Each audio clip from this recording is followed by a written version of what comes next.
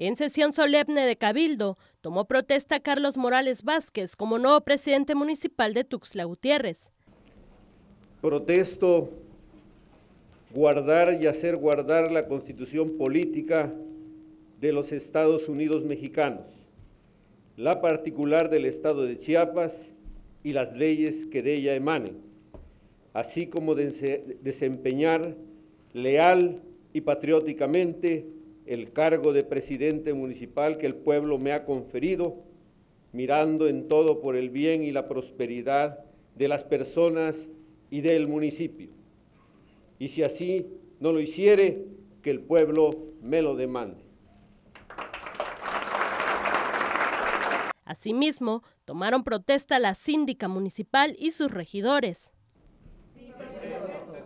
Si así no lo hicieren, que el pueblo os lo demande.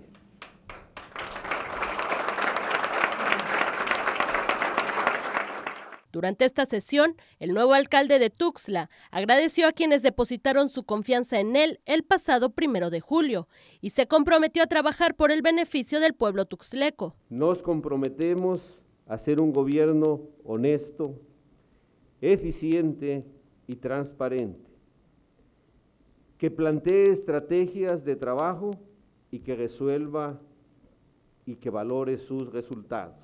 Además, anunció un plan de austeridad en el ayuntamiento durante la administración 2018-2021, para así generar recursos para poner en marcha trabajos a favor de la capital.